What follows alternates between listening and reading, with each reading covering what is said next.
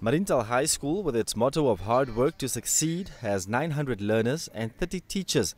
They are led by school principal Albertus Steyn. On Friday, learners and teaching staff alike went full force to the school hall in anticipation of the computer's handover. The Mariental-based Namastap traditional group was at hand to provide entertainment to the delight of those in attendance.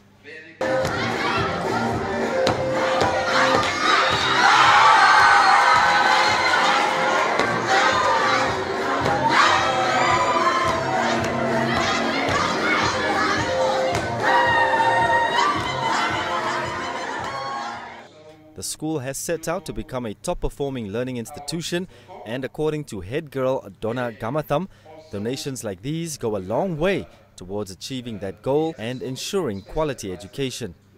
It helps you to grow, not and learn not only from books, but like individual from people all over the world, like um, the people coming from China and so forth.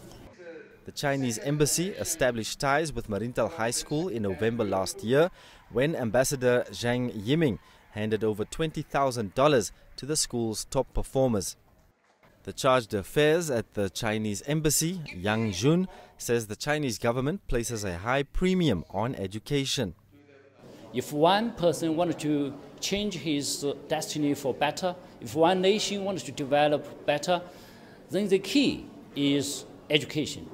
So that's why we, as friends of Namibia, would like to give our help to Namibia in this field.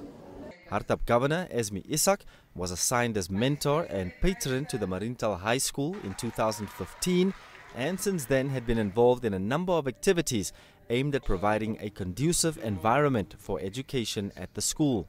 Education is my passion and I will preach education and I will educate anyone from adults to the small ones.